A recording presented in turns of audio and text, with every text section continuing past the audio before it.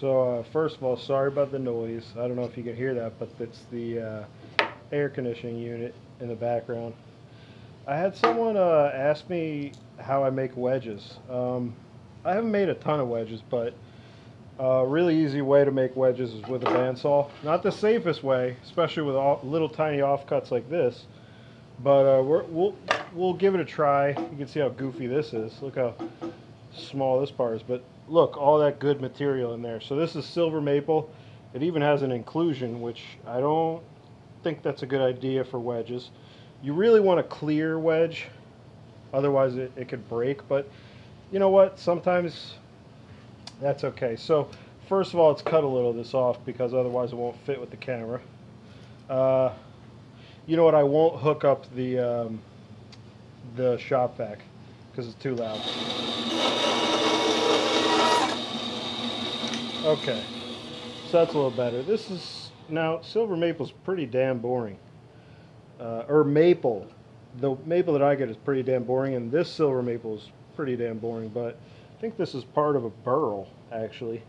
See a little bark inclusion. So usually what I do is I, I flatten one of the sides just to make it easier. Let's see, which side am I going to, which side am I to go in on? Uh, let's go with this one.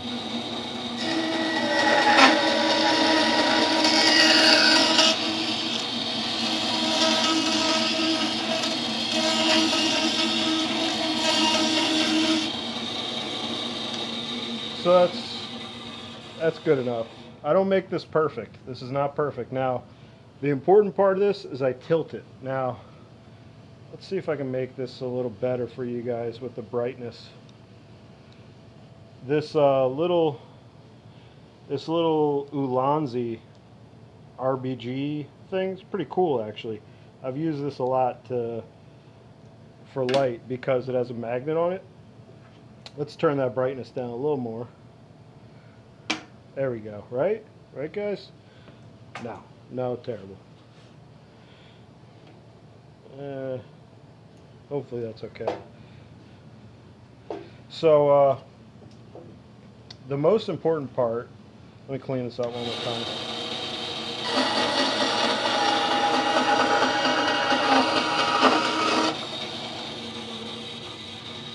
So the most important part is going in at an angle because that's what you want. You want an angled wedge. So let's see what we got here. So if I go this way, it'll come out it'll come out on this side. If I go this way, it'll come out on this side, okay? So I'm going to go this side because that's what I want.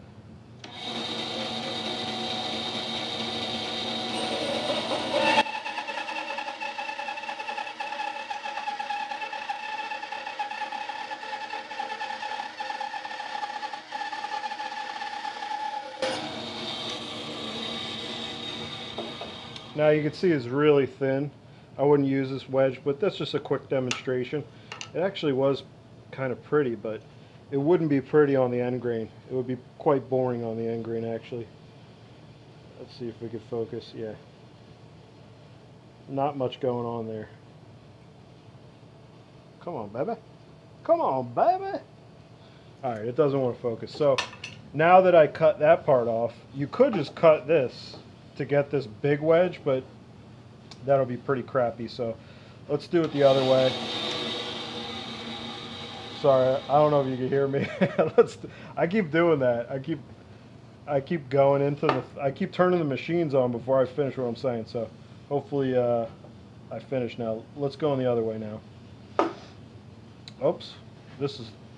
This is how I want to go. So I'm going to go close to this edge because I want it to be thick.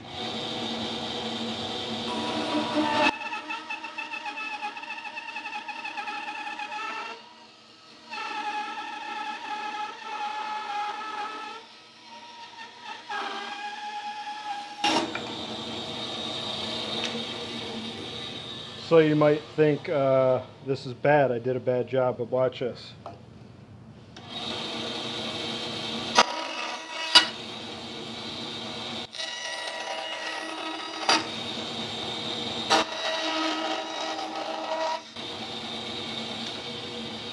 Just like that. just like that, we got a decent wedge. This is for a hatchet, this size. I will use this because silver maple is really nice. Now look, too thick, right? Thin here. God damn it. Fucking, I think I ruined this camera. Anyway, too thick on this side. So let's remedy that. So here's my uh, little Ryobi uh, 4x36 belt sander. You just sneak in here. Man, I'm so hot. I'm sweating. Anyway, so how would I fix this? Let me show you. It's actually funny how I do this. It really is. I use this right here because I've learned after so many times, instead of pushing into this with my fingers and, and taking my fingerprints off, which is actually, I actually really like taking my fingerprints off because if I want to commit a crime, you know what I'm saying? Anyway, so this, this side is really fat. This side right here. And this side is a lot skinnier. So what we're going to do is we're going to push on this side and try to correct that. Now I do have to turn the shop back on for this. So bear with me here. I have a bunch of wedges right below this.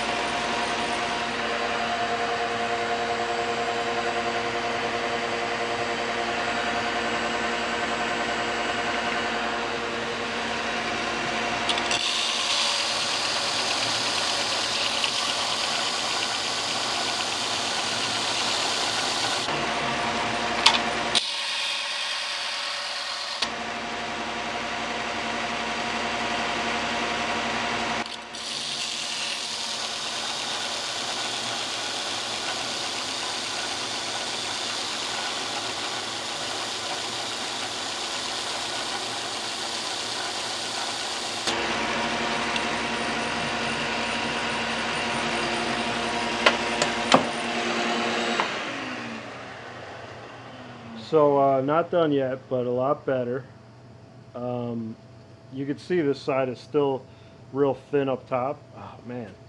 So you can see it's thin up top and thick over here on this side. So I still have to favor this side.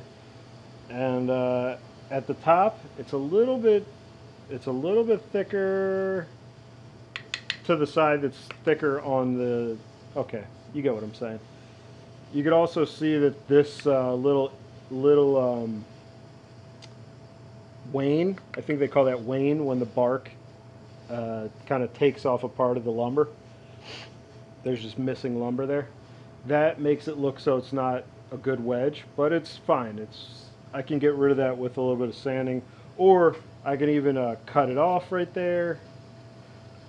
Cut it off right there. You get what I'm saying or sand it off. Or even when I round it. I mean, it, it's pretty long, so this is, whoops.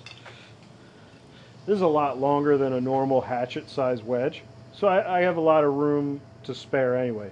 You can see this side is almost perfect. And uh, that's what you're looking for.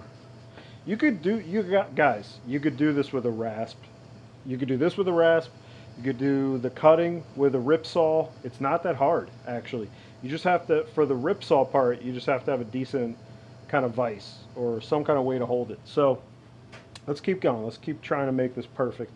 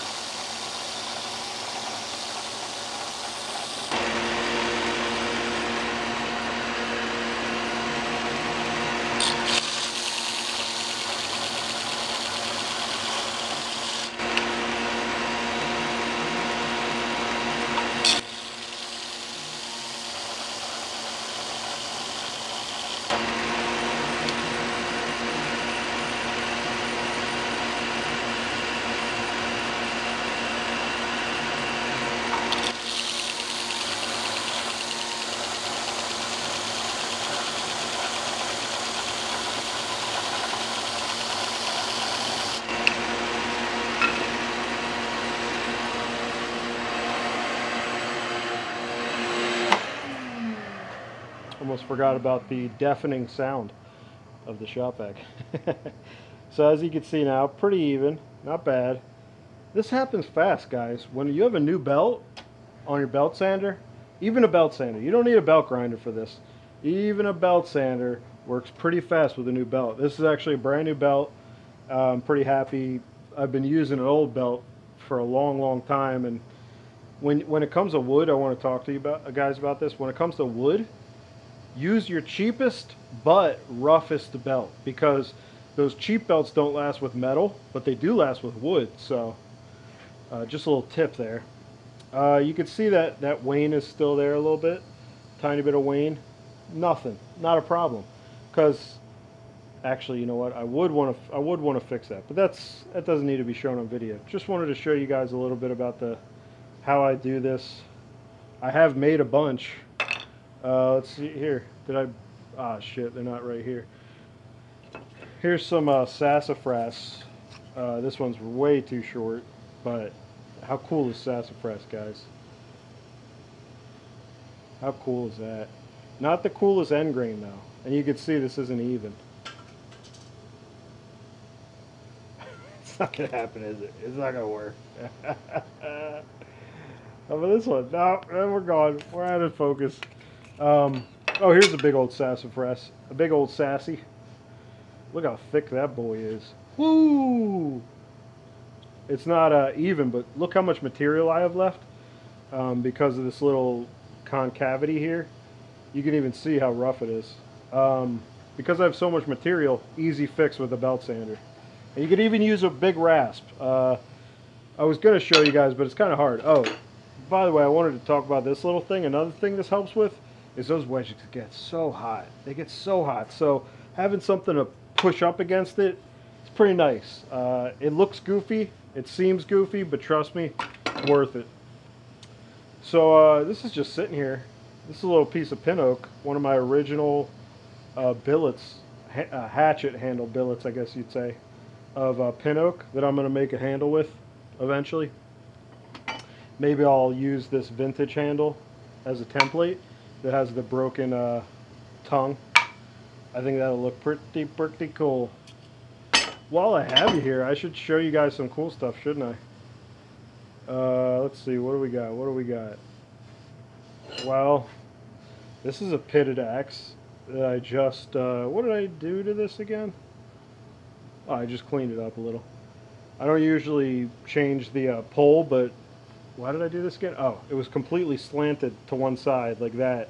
So I straightened it up a little bit and uh, cleaned up the mushrooming. But look at the pitting on this axe. Ooh! This kind of pitting will... What will it do? Something. Good. This kind of pitting would take the rust off of a... such a. I am. I don't know if you guys know this about me, but I like bullshitting. I like saying things that mean nothing. uh, do I have anything cool to show you guys? It's sitting right here. This is pretty cool. This is a C Hammond. Might have shown you. I don't think I showed you guys this actually. Come on, why you do this? Come on, you're making me, you're making me sad. I guess I just don't. Guys, I don't think I could show things close up anymore. My face is fine. Look at that. My face is fine. Now I put this up. Out of focus. what the fuck? I can see the fucking... It's so sad I can see the things going on with the camera lens. I, it was my fault. I dropped the camera. I, I really want to beat my ass for it. but here's the number two uh, C Hammond. Isn't that cool little piece? Here's a little Dunlap. This, is a really interesting break. I've never seen a crack. You can even see it without me going too close.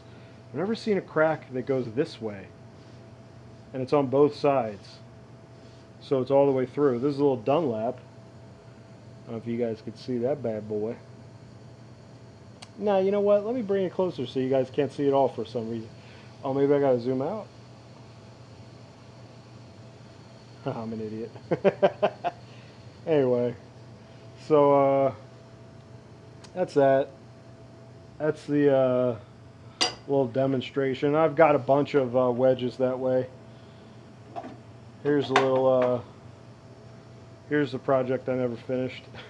it's supposed to be like a kuksa type deal, but I don't know where I was going with this. It cracked and I just kind of gave up on it, but then I kind of fixed it. I took the crack away and I, well, I didn't finish it, so. This is a, American Beech. I love carving with American Beech. It's too bad that it's it's so hard. Otherwise, I'd use it for wedges. Um, here's an early hatchet handle that I made that's really bad. Terrible. One of the worst. Wow. Really bad. It looks like it has decent taper, right? But no. It's just wrong. This this back is flat. I think what happened was this broke off or something. So it's just bad. Uh, here's another vintage template handle. My friend gave me this. It's a house axe handle. Can't wait to make a handle out of this one. As a, uh, this is a template. Uh, I want to save this for something special maybe. Maybe I'll use it as a handle match. That's what they call it by the way guys, a handle match. When you put an existing handle on a different head, on an old vintage handle, on a different vintage head. So it's called a handle match. And that's something I really learned a lot from uh, Axe Yankee about. By the way, if you've noticed, I talk about Axe Yankee's kind of mentality all the time. I have learned so much from this guy. I hope he doesn't watch these videos and go, what the fuck, he's talking about all my secrets. he, he pretty much told me I got to spread, I think he said spread the news about how to do things the way he thinks is right. I kind of agree with him. I want everybody to do things as, as best they can so we don't ruin, you know, vintage lumber, uh, beautiful vintage axes. It's a nice one, isn't it? Is that a nice one? Can't wait to hang that. Um, yeah, so I've made a lot of mistakes, and uh, it's pretty awesome to have guys like that help me out and tell me about their philosophy, and then I basically just steal their essence, like Dane Cook did with Louis C.K on that note, I don't think you guys, I don't know if you guys are dirty comedy fans, but I'm a dirty, dirty boy myself. This is me giving you the armpit of, of uh, finality. Goodbye.